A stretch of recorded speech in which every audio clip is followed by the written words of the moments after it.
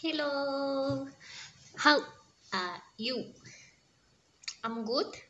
Uh, my name is Yuka from Hikari School of Music, Nakuru, Kenya. And today I thought of just sharing you my thoughts on accents. So, when we uploaded the interview with Tuko, and so many people watched it, and I'm so grateful to Tuko, Lynn, and Edwin who came to shoot it all the way to Nakuru, and um, everybody who watched it and supported it was really nice. And also the many comments positive and supportive. So we really appreciated it. But one thing uh, that came to my attention was so many people talked about my accent now you see like there a lot of comments were like how come she's speaking like a kenyan and you know like maybe because of how i look I don't know how many people, how uh, most people just expected me to speak. Maybe people expected me to have an American accent or like a British accent, something, or like Japanese accent. But then people said like, if you close your eyes you can't know which is the interviewer and which is the interviewee and if you if you close your eyes this is shiko and things like that and um I appreciated it all. Like uh, I decided to take it positively, like in a in a good way. Not that um, they meant any bad, anything bad. Yeah. So, but then I came to just think that there's this um notion that you know maybe uh, our accent that we speak in Kenya is I don't know if it's inferior or somehow less than American English or like British English.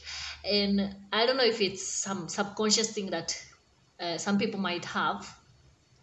And I just wanted to encourage uh, all of us to be very positive and to be proud of ourselves. Like uh, we don't have to speak like americans. And if we speak like americans that doesn't mean that you're more educated. That doesn't mean that you're more uh, enlightened or anything. Uh, and if you speak like british it's the same thing. It doesn't mean that you are superior. It doesn't mean that you are better in any way. So what you say is much more important than the accent that you have. So I really don't um, bother what accent I am speaking.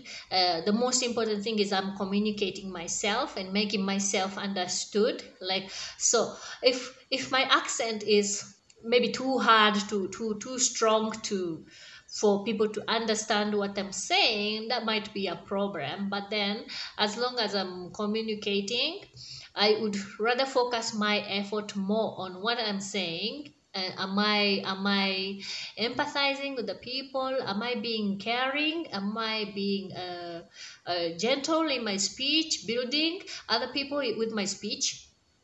rather than how I sound. Like, do I sound like, uh, am I sounding like American? Am I sounding like, you know, with which accent? So I really don't want to encourage that um, habit of somehow thinking that you know you should have this accent. You should have uh, you should speak like so and so. And so you know a lot of people uh, i come to interact with in kenya or abroad even if they have so-called good accent so-called american accent. Some people just have no consideration for others and they're like they don't say hi they don't say how are you they just get straight into the business. And i get kind of uh not offended but like taken aback like uh you you you you just go straight into business. And so i think just saying hi just basic manners like you know how are you? Happy new year those things just shows that you care and it's much more important than which accent you speak to be honest. And and uh, it doesn't define the level of your education. And so uh, rather focus on what the, the person is saying instead of focusing so much on the accent.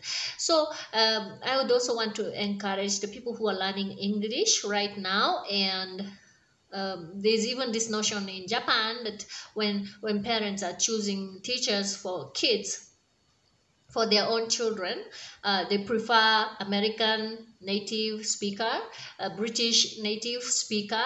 But mind you, uh, you know, English is becoming a global language. It's not just uh, it doesn't belong to just Americans anymore. It doesn't belong to just British anymore. You use English, like when these children grow up, they use English to communicate with the people from China, people from India, people from all over the world. It's not just American, just in British. So the more important thing for these children, uh, rather than to acquire the, the American or the British accent, uh, to use the right vocabulary to communicate themselves and to have more ideas uh, to commit to what communicating. Because if you're if you're you know the, the storage of your ideas is empty even if you have the right accent even if you have the right uh, knowledge of english there's nothing much you're saying.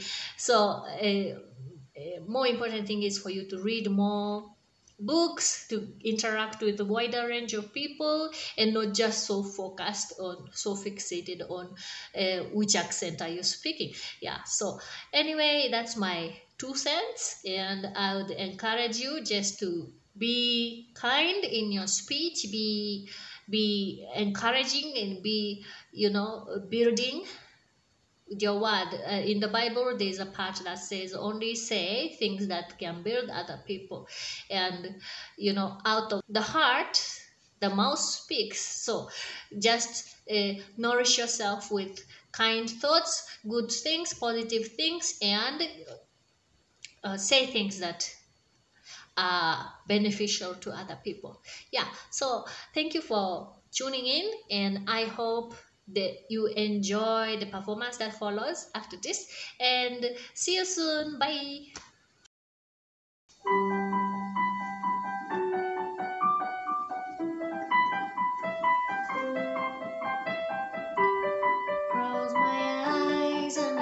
See the world is waiting for me.